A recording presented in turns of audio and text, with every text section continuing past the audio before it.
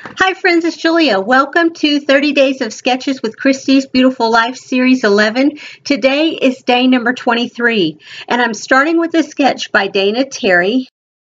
Hi friends, it's Julia. Welcome to 30 Days of Sketches with Christy's Beautiful Life Series 11. Today is day number 23. Today's sketch was created by Dana Terry with designs by Dana and it is a two photo sketch and as you can see it is a grid type layout uh, with the four, uh, four embellishment photo cluster grid, if you will. And so that's kind of how I went at it, was from that standpoint. And so today is also uh, through the rainbow where I'm using a wood grain. So I pulled in a piece of an older piece of Basic Grey paper called Life of the Party and it is a lighter and darker wood grain paper and so I use that as the mat for my grid and so that is where I'm starting out. So I put uh, my photos down, my embellishment clusters down, and I pull the um, mats for my photos from my scrap bin, and then I just pull a random assortment of embellishments to use. And I will show you those here in just a second uh, yeah, uh, sorry about the glitch in not doing a video like I normally do, but somehow or other I lost the footage from the first half of the video. But thankfully I still have the um, the rest, the second half.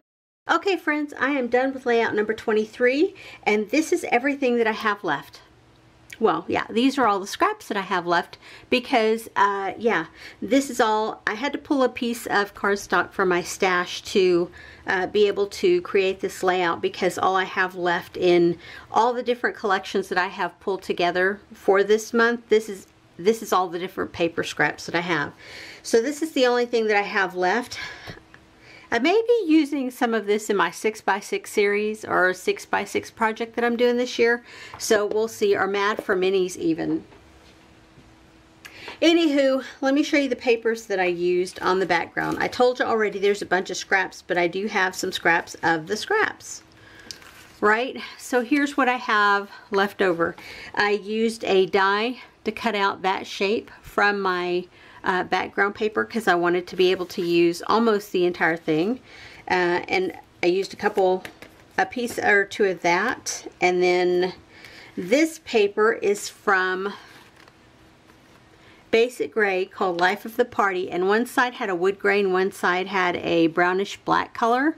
But this one with the wood grain had all these celebration sayings on it. You can see the wood grain, I think, more in the lighter shades on camera, but the background uh, as well has a wood grain wood grain texture to it and then the lighter words. And so I use this as a base for my, pho my photos. So I used this black alphabet to create my title. Uh, finishing bits were uh, some puffy stickers and some enamel dots. And I also used, um, sorry, this scallop was what I cut out that other shape from. And I used multiple things out of my bin of supplies in here. I, I used a piece of wood veneer, I used a flare, I used a couple other things from in here. So let me move this and I will show you the layout. Let me grab up my alphabets and my die. And here is the layout that I created. I'm super happy with how this turned out. I didn't know necessarily if the colors that I was choosing were going to work, but because of all the multicolors in this paper, it kind of pulled it all together. That was my uh, jump off point, if you will, for color on this. And there's not a whole lot of color. There's a little bit of blue. I had a little bit of that watercolor paper left over, so I punched a scallop circle out of that and put it behind the wood veneer bird that I, or composite uh, chipboard, I guess you would call it, um, bird I painted. Uh, so that went on top there.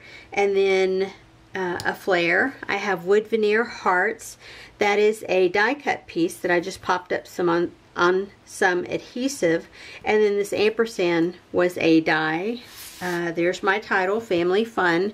There's a Brad from uh, all the different stuff that I added in. I have a little bit of everything on here. Ooh, and there's three puffy stars over here. I couldn't help myself. I just had to put them there. But anywho, I will have close-ups of this layout at the end of the video, so if you're interested in seeing those, stick around for that.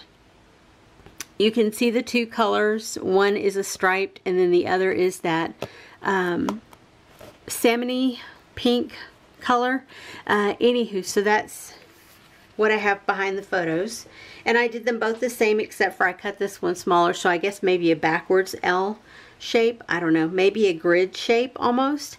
Um, I don't know, know necessarily what you would call this one, but um, the type of layout it is anyway.